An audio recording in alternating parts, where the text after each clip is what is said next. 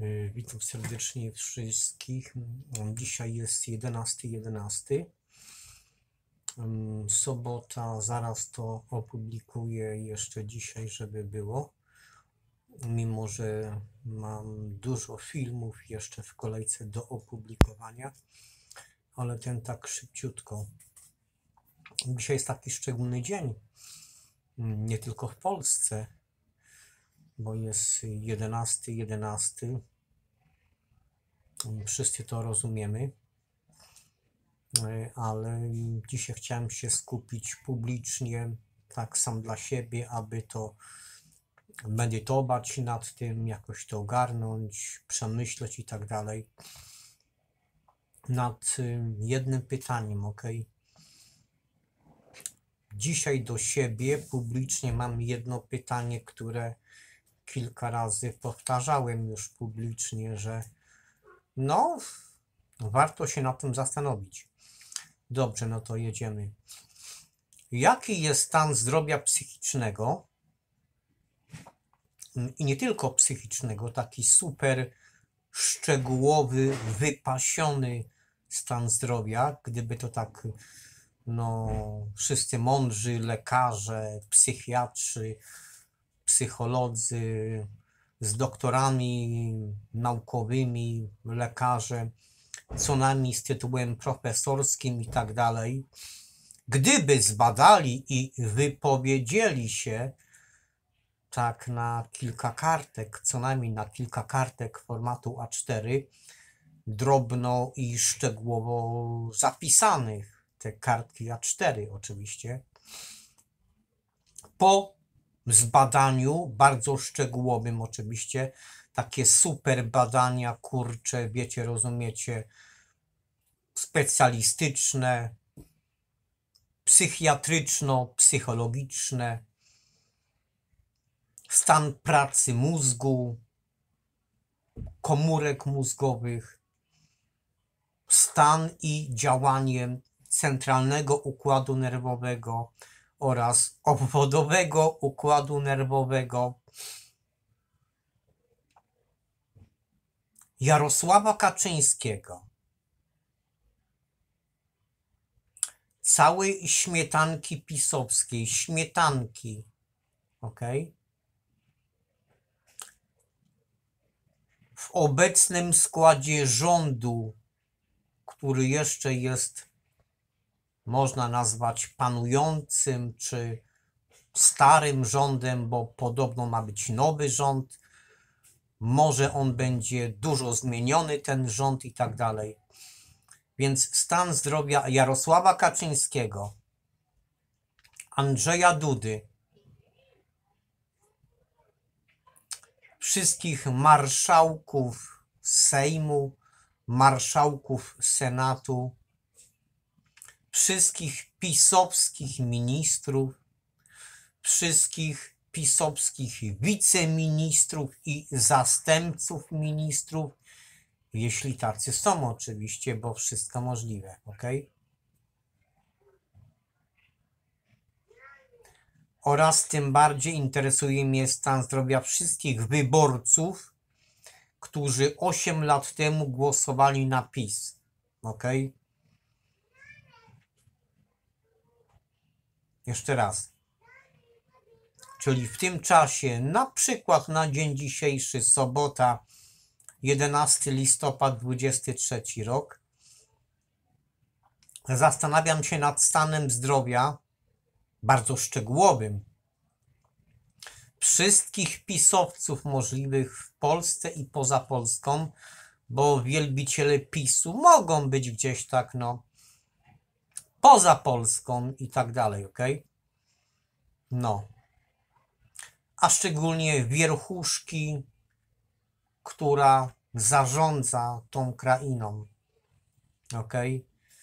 Pisowska wierchuszka, czyli Jarosław Kaczyński, jego wszystkie zwierzaki oraz super tajni doradcy Jarosława Kaczyńskiego, bo być może są super ściśle tajni doradcy Jarosława Kaczyńskiego. którzy nie muszą należeć do PiSu i się w ogóle ujawniać. Ok? I ich nazwiska i inne szczegóły nie są nikomu znane. Bo na pewno ktoś coś przekazuje Jarosławowi Kaczyńskiemu do wykonania. Ok? I nikt o tym nie wie poza Jarosławem Kaczyńskim. Dobrze? Jedziemy dalej. Stan zdrowia psychiatryczno-psychologiczno-szczegółowego wszystkich zastępców Jarosława Kaczyńskiego, oficjalnych zastępców, a tym bardziej tych nieoficjalnych, ok? Stan zdrowia psychiatrycznego Andrzeja Dudy i wszystkich jego współpracowników i doradców, którzy mogą przebywać w pałacu albo w najbliższej okolicy pałacu, tam gdzie przebywa Andrzej Duda.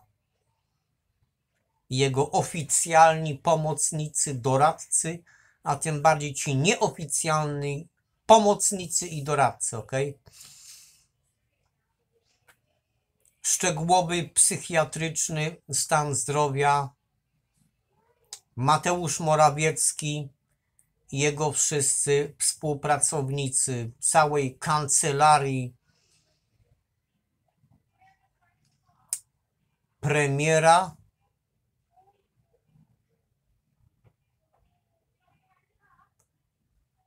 Kancelarii prezydenta oraz kancelarii Jarosława Kaczyńskiego, bo na pewno muszą istnieć różne tajne albo super ściśle tajne jakieś takie kancelarie mniej oficjalne od tej jednej, jedynej oficjalnej, ok? Więc tam też trzeba sprawdzić stan zdrowia psychiatryczno, psychologiczno i tak dalej. Oraz także wszystkich pisowskich posłów, wszystkich pisowskich senatorów. Oraz wszystkich wyborców, którzy głosowali na Andrzeja Dudę. Oraz na Beatę Szydło, a później już nastąpiła podmianka bez głosowania na Mateusza Morawieckiego, ok? No. Już dawno nad tym pytaniem się zastanawiam. Od co najmniej 6 lat, kto jest zdrowy psychiatrycznie tam w tej stolicy, w tym wirtualnym PGR-ze na ulicy Wiejskiej, ale ta bajka dzieje się na Księżycu albo na jakiejś innej planecie, gdyby co, ok? Więc stan zdrowia psychiatryczno, psychologiczno i tak dalej wszystkich świń pisowskich w tym wirtualnym PGR-ze, który może znajdować się gdzieś tam w okolicy ulicy Wiejskiej, na tym księżycu co najmniej. Więc stan zdrowia wszystkich świń pisiorowato podobnych i te klimaty. No dobrze, to ostatnio tuż przed wyborami Jarosław Kaczyński miał okazję świadomie, celowo być może cynicznie albo w sposób zaplanowany. Zniszczyć taki wieniec, który tam był. Yy, powtarzam. Jarosław Kaczyński tuż przed wyborami miał okazję świadomie, bo na tych filmach było widać, że Jarosław Kaczyński to robi świadomie. Ok? Zniszczył wieniec który mógł kosztować kilkaset złotych.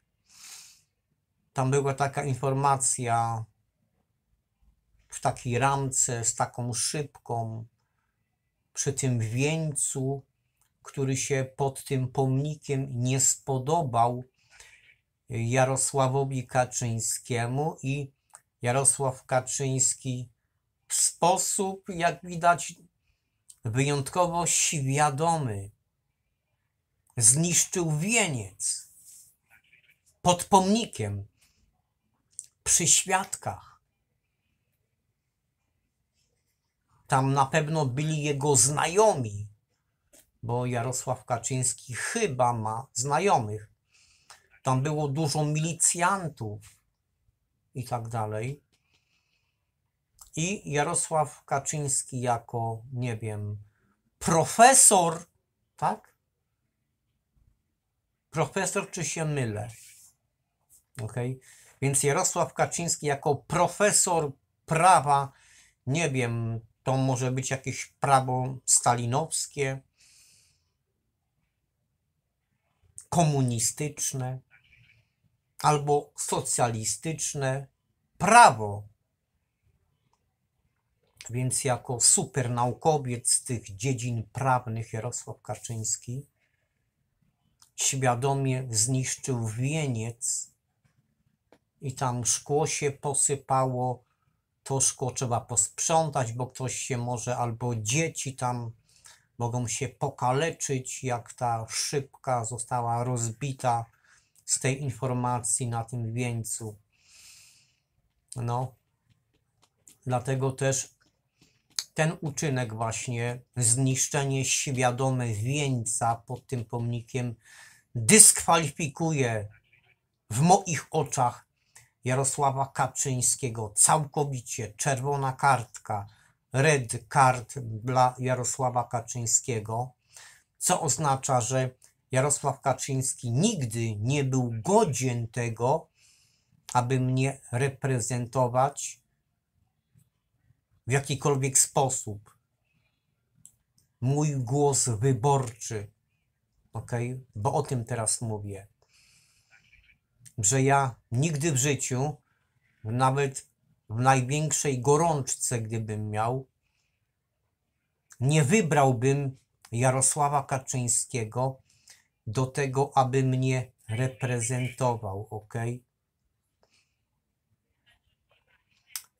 Andrzej Duda też znajomości języków tam się kłania. Jego decyzje podejmowane z podpisywaniem zbyt szybkim czytaniem lub takim jakimś mało czytaniem tego, co podpisuje, a miał czas jeszcze 20 dni, żeby no, tą papierologię przeczytać dokładnie, a jest prawnikiem prawa administracyjnego, żeby przeczytać dokładnie, pomyśleć i się zdecydować, czy Andrzej Duda długopisem podpisze, czy nie podpisze. A teraz Andrzej Duda gra na zwłokę, bo na pewno przez dwie kadencje Andrzej Duda zna arytmetykę i matematykę wyborczą i te klimaty. Więc nie musi przeciągać, ale przeciąga. Dlatego z wielu, z wielu różnych przyczyn z przeszłości.